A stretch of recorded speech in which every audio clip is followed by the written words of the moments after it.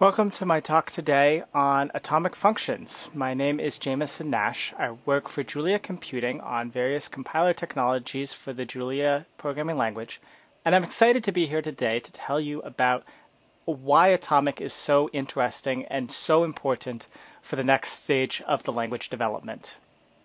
The New Oxford American Dictionary defines atomic in several different ways, and the one that I'm interested in today is the part that says it's a single irreducible unit or component in a larger system. From that, I make my own definition of what @atomic is. It says it's a minimal component critical for the building of larger Julia programs that use multi-threading. Now, how does that look? Say we are writing a program that looks a bit like this. We had a single threaded program, and for some unspecified reason, we are doing a counter a counter that is updating. And with this particular loop structure, I'm going to start adding features later. But for now, I've used this GC.safepoint call to ensure the compiler preserves pretty much exactly the loop structure that I've specified here. And now you can see, because I've done 100,000 events on 10 different for loops, we count up to a million, and timing seems pretty good. I don't have any particular reason to doubt it. But say our boss comes in and says, We bought you this great laptop. It's got eight cores in it. Why aren't you using all of them? It should be much faster, right? And so you say, okay, I've heard that we can just put at sync on the code and at spawn, and things will launch on the threads that they should be on. I've run test cases, and I'm thinking if I just start running more threads, we should have exactly the results that we want to see. And yet, if we actually add those threads, so I specify dash T8 in this case to start running with 8 cores of my laptop, now things seem to be on fire practically. We've created problems for the compiler where it is no longer doing what we told it to do, and this could cause cascading effects throughout the entire program in particular here, well, instead of the 1 million updates that we had expected to have, now we only have 300,000, give or take, maybe 400,000. It changes every time, and we're missing two thirds of our updates. So this isn't a case where you could just say, well, it, it's kind of good enough. Uh, we need to find a better way. And that better way is to mark those usages as @atomic. And now we can see we've recovered the original behavior of the code. We count up to 1 million, and all of our threads, still using dash T8, are behaving correctly. But an important thing to realize and know about is that just adding @atomic to the places where our code has races is not going to be enough to give us thread safety. Now, why is that? What does atomic do and what doesn't it do? @atomic gives us what we call data race freedom. This is a very particular concept which can be a building block to make things thread safe, but it is not always necessary or even sufficient to do so. And so, to make things truly thread safe, right now the best tools we have are really solid code review, good standard practices, to describe and document what you're expecting the code to do.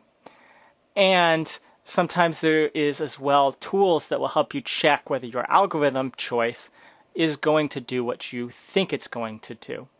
And for that, the @atomic will allow you to specify that so when you are translating your algorithm into code, you can again show what the intent and the meaning behind your code is. There's many different atomic operations that we provide. The @atomic macro that we showed earlier is only one of several. Well, there's only one that is critical and from which all of the others could be defined. There's many useful tools that are much that are common to need. And so we provide those as well so that you can have more expressive code and the users aren't left wondering why you use this heavyweight complicated tool when you only needed a simple one. So for example here, we go back to our atomic counter from earlier, And we can specify an atomic load simply by putting at atomic in front of the load expression. And in this case, we'd get back 1. In the next part of the example, I show if we did not put at atomic there, it would throw a concurrency violation error.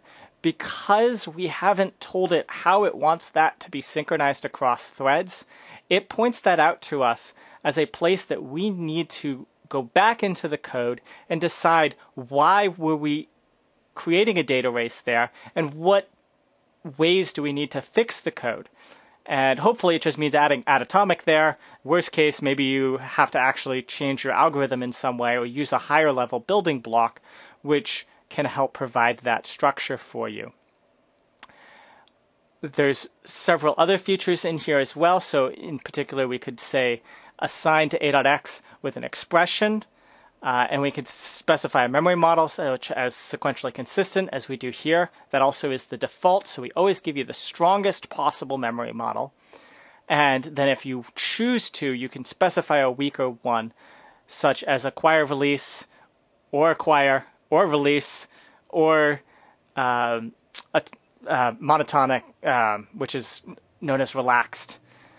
Um, the LLVM name versus the C++ name. So we use the same memory model as many other languages, including C, C++ and Rust, which allows you to go look at their resources to understand what those memory models are.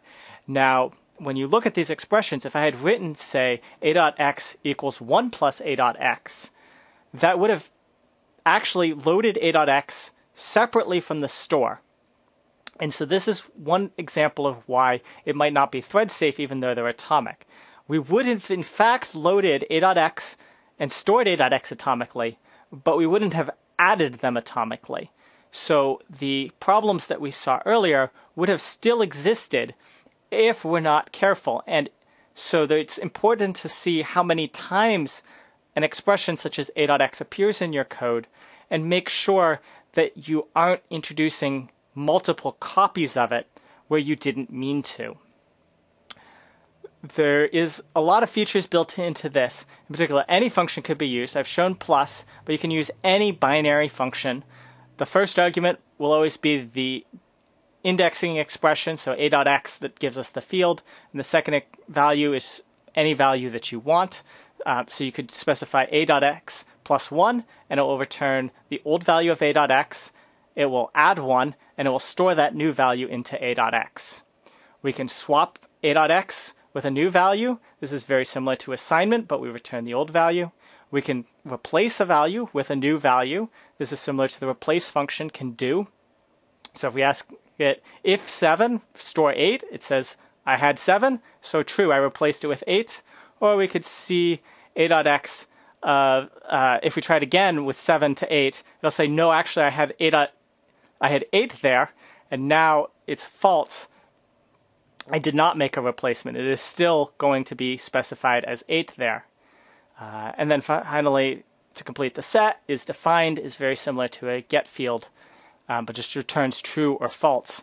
So it also is necessary in our system to be able to specify all of the properties required. So any function can be used and any type can be used. It's not just applicable to int, as we've been showing in all the examples. We wanted to make sure that any type can be used.